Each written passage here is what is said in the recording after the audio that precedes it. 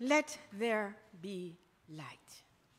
Our encouragement this morning is through that channel of light, Reverend John Scott, our beloved pastor. Please help me welcome Reverend John to the podium for that message of light.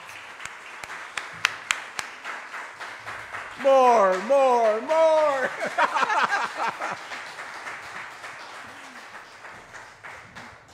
uh, just breathe with me. Good morning, beloved Temple of Light family. Through the earth, far and wide, wherever you are this morning, welcome to my heart.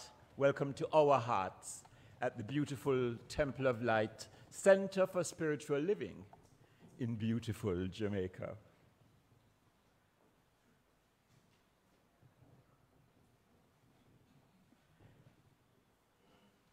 In the very first book of the Judeo Christian Bible, in the book of Genesis, and the earth was without form and void.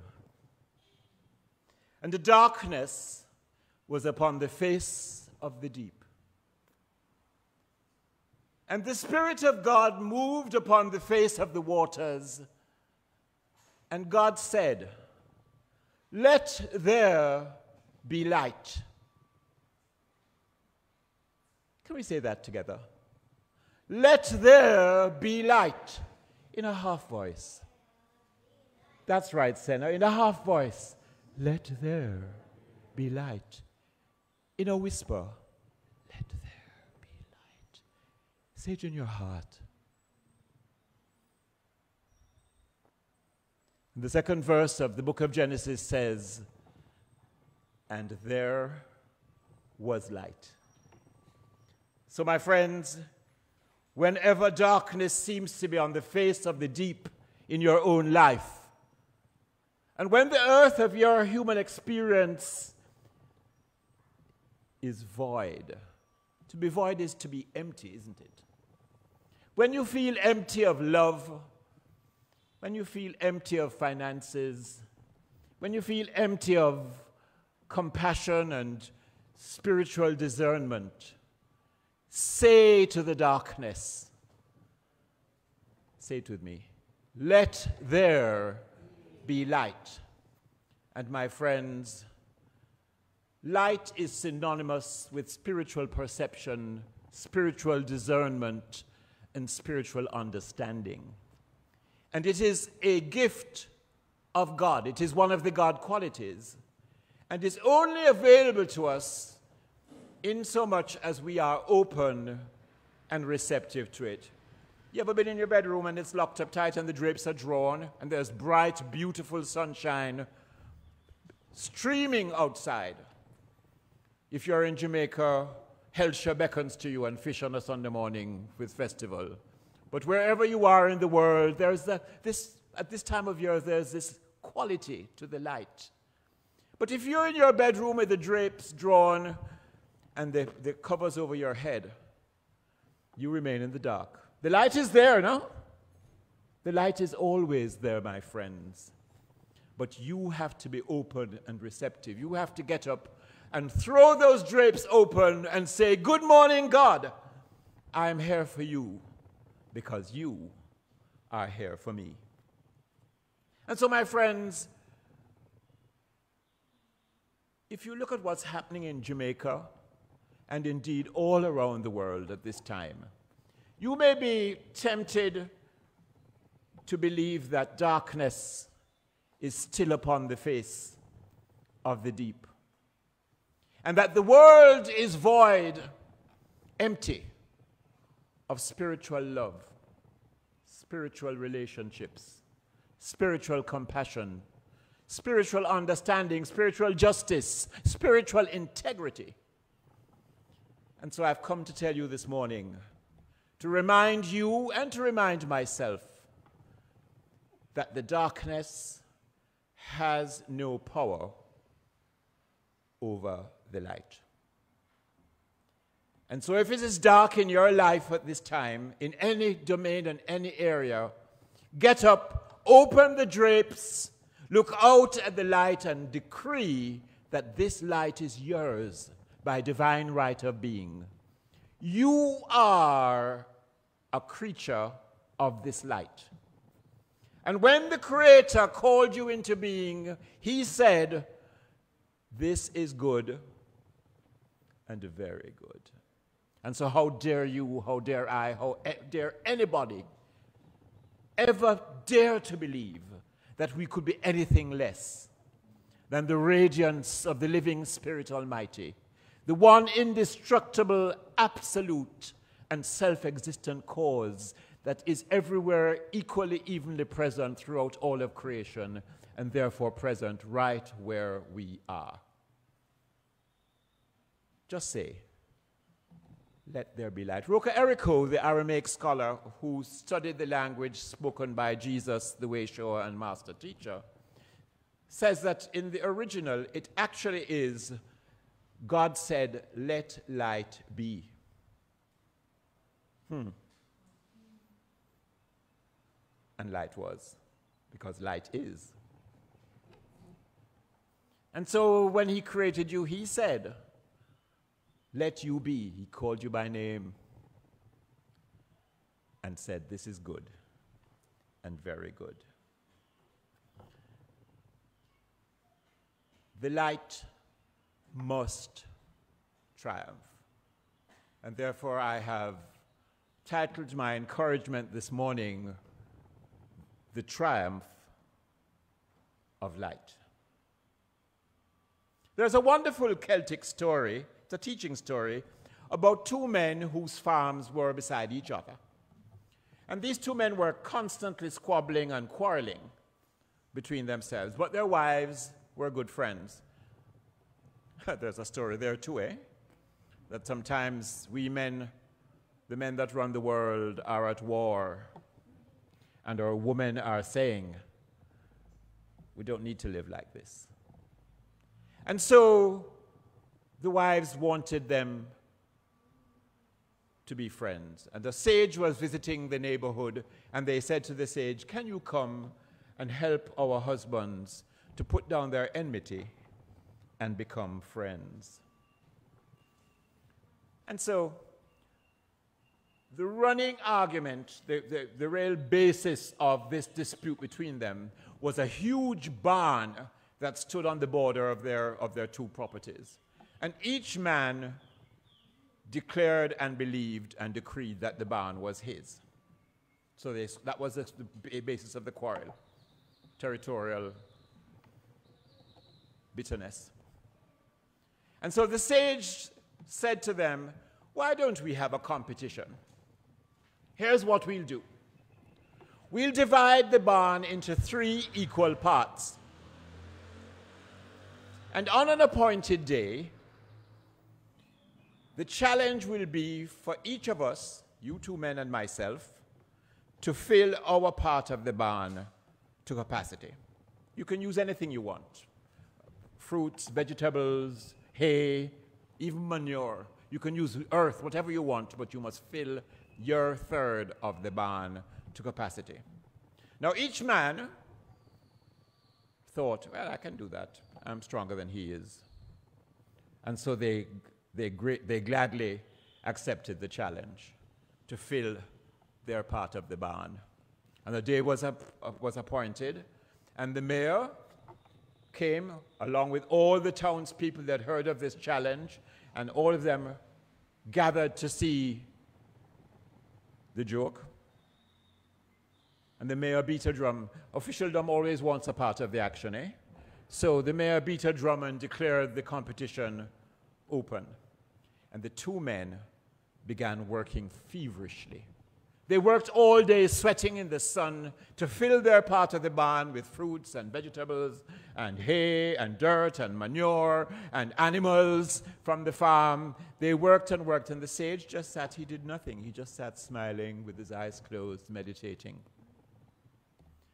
And after 12 hours, the two men, exhausted and, and covered in sweat and dirt and grime, had only filled about half of their part, their third of the barn.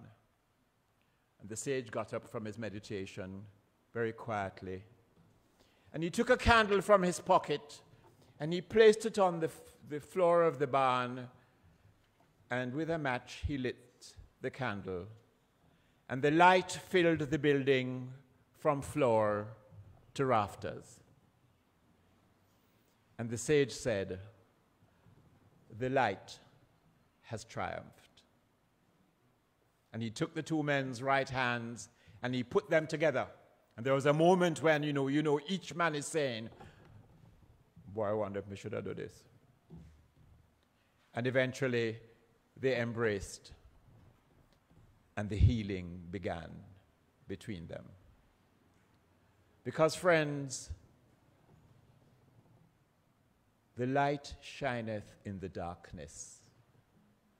In the darkness of what we face here in this country and all around the world, in the darkness of human ignorance and human superstition, in the darkness where our egos are forever telling us that we can do it on our own.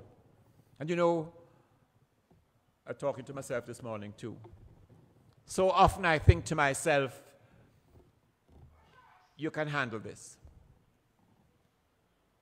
And when I do, I remember that the Master, Jesus, the way shower, Yeshua Bar Joseph, he too was tempted, wasn't he? According to that story, Satan took him to a high place. And you know, in the Bible, when you read of high places, it means the pinnacle of consciousness. And there he was tempted.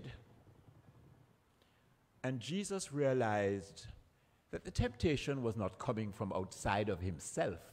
Because there's no devil external to us. It was his ego saying, Come on, you can make these stones into bread. And whatever you want, you can have. Your Father God give you already, so you can have it. Just bow down and worship the external. And Jesus said the well known words Get thee behind me, Satan. Friends, there is no Satan out there. It is our own minds. You ever in an argument with somebody and one man said to you, check what them tell you in confidence last week and fling it back in their face. And another man says, no. Your higher self can say to those thoughts of, of vengeance and unforgiveness and hatred and despair, Get thee behind me. I'm reminded of a, a, a story of a pastor's wife. Um, she had, a couple of days after Christmas, gone back to the store. And then she came home and she was just unpacking the only most beautiful gown ever from the shopping bag when her husband came in. And he said, Darling, darling, darling, I thought we promised that this new year we had a resolution. We weren't going to do any shopping. You weren't going to buy any more dresses, and I wasn't going to buy any more gadgets. She said, Yes, dear, I know. I, I, I.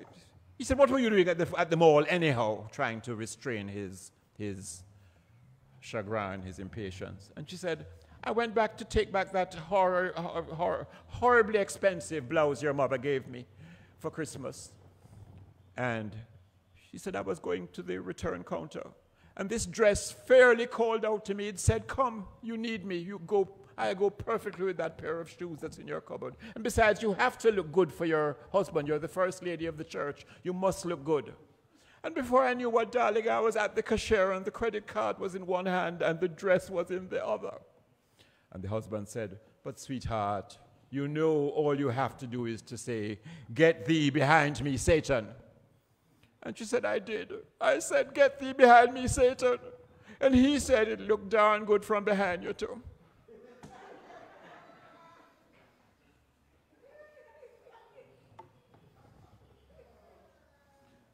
Friends, light in your life.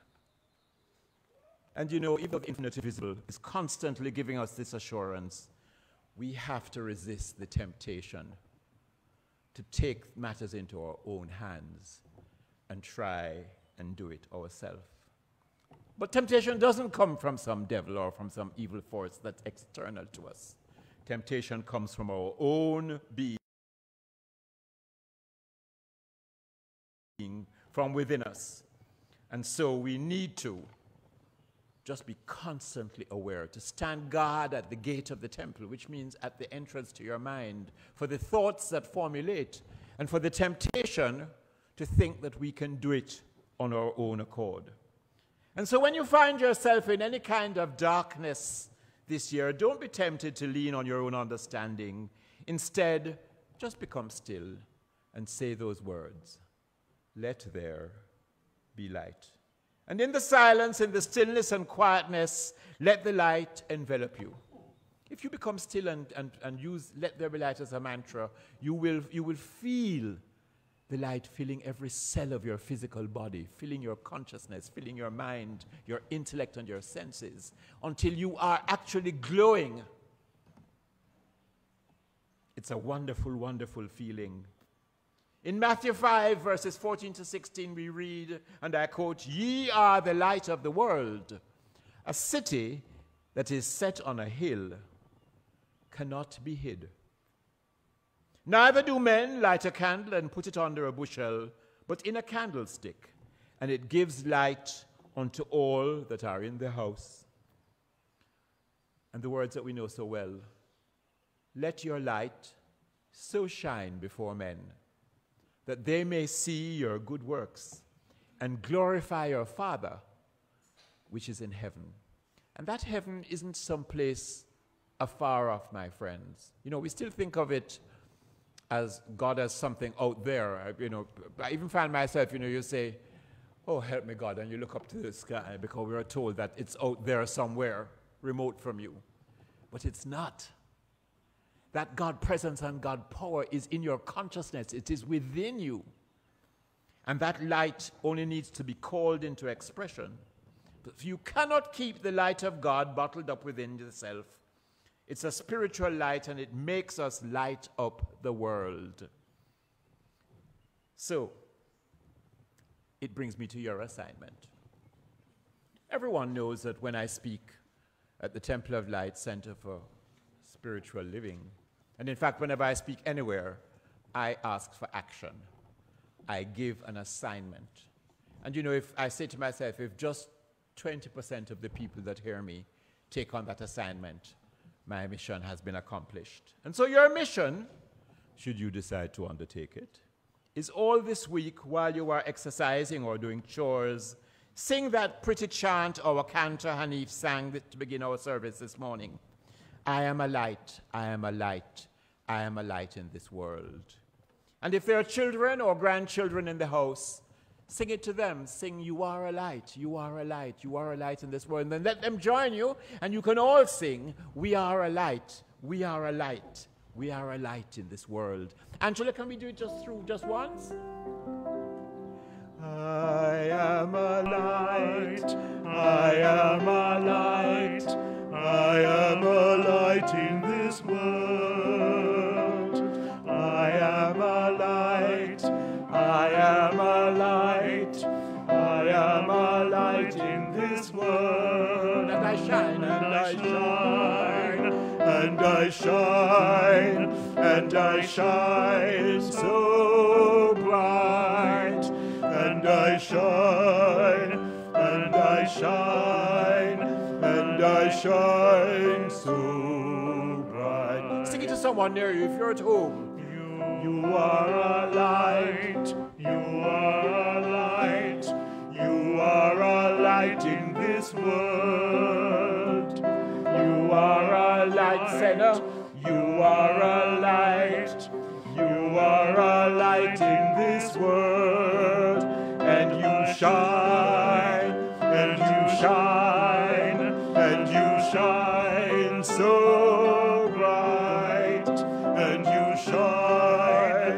and you shine, and you shine so bright. We are a light.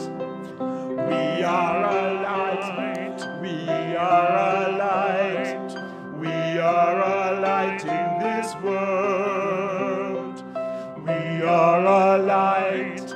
We are a light. We are a light in this world. And we shine and we shine, and we shine so bright, and we shine, and we shine, and we shine so bright. Wouldn't sound good? Wow. You know, my friends, one of the changes I would like us all to make this year is to begin including our young ones in our spiritual practice. Not with any sense of piety or solemnity, but as great fun. God is great fun. I love the story of the little boy who got a bright red ball for Christmas. And after breakfast on Christmas morning, he says to his mother, Okay, I'm going outside to play ball with God. The mother said, Oh, that's lovely. How are you going to do that, dear? And he said, Mom, you know, that children have a, a, a tone of voice they use to us adults when we fail to, to see what is quite clear to them, you know? Duh. He said, It's very simple, Mom. I throw the ball up as far as it can go into the air, and God throws it back. Goldsmith Joel Goldsmith, that monumental teacher of practical mysticism, on whose writings I am basing my quiet moments in the garden on a Monday, Wednesday, and Friday, says in his book, The Heart of Mysticism, and I quote, The noise and confusion of the world obscure the light of God. The noise and confusion of the world obscure the light of God. It's like dark clouds that cover the sun, eh? But when we approach God in quietness and confidence, peace steals into our souls. And then, in that moment of peace, the light of God, the light of spiritual wisdom and healing, pours through and functions consciously within us. You ever seen when those gray clouds part and there's a stream of light, a beam of light, radiant, just, just shining through. It's one of the most beautiful sights I think you can, you can find in an evening sky when the light just bursts from behind the, the dark gray clouds. Wow. I think of opening my, the curtains of my bedroom and allowing the light to stream past the dark. So when darkness moves upon the face of the deep in my own life, when it happens in all our lives, don't beat upon yourself. Even the master teacher was tempted just say, Let there be light. So I want to strongly recommend this is not an assignment, I just, it's just a recommendation that you set aside one day each week when you fast from listening, watching the news of any sort. No news, no television, no talk shows. I know people say, but I need to know what's happening. But if you miss it for one day, my friends, you will find that the next day when you listen, you haven't missed a thing. It's the same story over and over and over. So I was listening to a nutritionist talking about um, resting our, our digestive systems by making one day a week a meat free day. So she, this, she said, Well, what about a meat free Monday? So I'm saying, why don't we have a news free Tuesday? Or Wednesday or Thursday? You can designate the day. And instead of that news, listen to your favorite music. Just listen to music all day. And let that cleanse your soul, cleanse your spirit, and just wash you clean of all the debris that is poured upon us out of the media. And it, when I say no news, I mean don't read no WhatsApp because they send you pictures of people who are breaking into the ABM in Timbuktu. And you go into a panic because you go to one Liguanea. Can we just can we just fast from that for one day a week? Can we give our souls the rest that we need? And for one day, think about God. Think about beauty. Listen to music. Listen to your own inner song. Listen, listen, listen to my heart song. Sing with the family. You know, this morning's praise song came because I was at a friend's house and uh, the granddad was teaching the little girl the, um, the Jamaican version of that. Ta, ta, ta, ta, ta, ta, ta. It goes, one shift may have ratatiri, right it tear, mama patchy, right he patch, teacher beat me, teacher beat the galley turn right over, teacher beat the galley turn right over. Of course, culturally we know that we no longer beat our children and turn them over. So I decided to put some new words, and our musical director, Angela Elliott, who can play the telephone directory, um, helped, helped. And so we came up with this morning's Come, Come, Come, O ye people, shine, shine, shine from the steeple. You look at the Temple of Light picture outside, and there's a steeple. We need to let our light shine so that wherever the darkness is, we, as members of the Temple of Light Center for Spiritual Living, we, as people who hunger and thirst after righteousness, can let our light shine that others may see and say, There is something about that person. I don't know is what but I want to be like them. You know, one day I was in a hurry. I rushed out of here and I was at the supermarket and just rushed to pick up something and then waited half an hour in a line, you know, with one item. And when I got to the cashier, she said, Is something wrong, Mr. Scott? And I said, No, no, no, not at all. Why you ask? She said, You're not singing today. I never realized that as I go up and down the aisles of the supermarket. It used to be when I have a lesson with Mr. Dexter, the the next morning and I'm in fear and trembling that I haven't got it right. So I would walk up and down, pushing the trolley and singing. But people notice, my friends. People, people form an opinion of not just who you say you are, but how you are and how you impact them. And you never know, you never ever know how many people you touch as you walk through life. So come, come, come, all ye people Shine, shine, shine from the steeple of your consciousness. Let your bright and beautiful shine touch lives.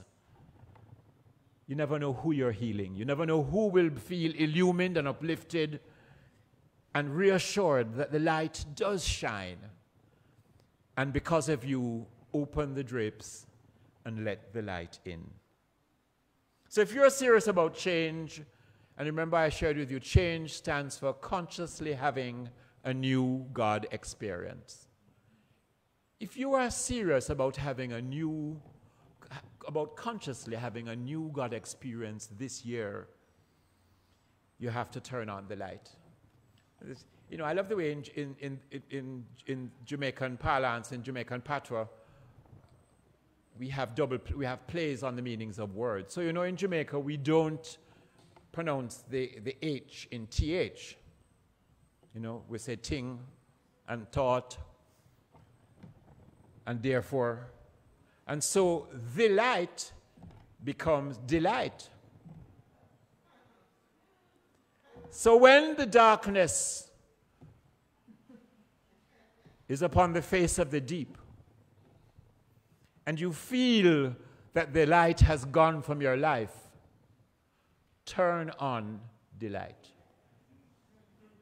Find delight in your friends, find delight in your home, find delight in the, a tangerine that you're eating. I had a tangerine yesterday. Oh, I think that was what was in the Garden of Eden. Delicious. No, it was actually an Otaheite apple. But find delight in your life because delight shineth in the darkness, and the darkness can't even begin to understand who and what you are. As a being of light, as a candle of God, as a purveyor of beauty and love and truth and goodness, so that in your presence no longer will the earth be void, be empty of integrity and love and beauty and joy and goodness and compassion. Because you shine. And you shine and you shine and you shine so bright and you shine and you shine and you shine so bright. Namaste.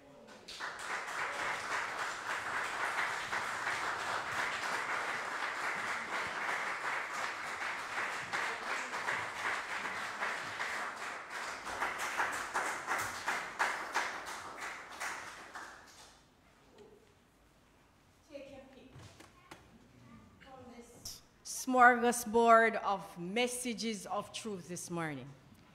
But this is indeed a property of light. We have a musical director that came music out of a telephone directory. We have a pastor who sees messages in everything. So all we are left now to do is radiate who we really are. The messages were great this morning. Have, instead of a fast, have a music fest, one day a week, obliterating everything else. Encourage our children in spiritual practices.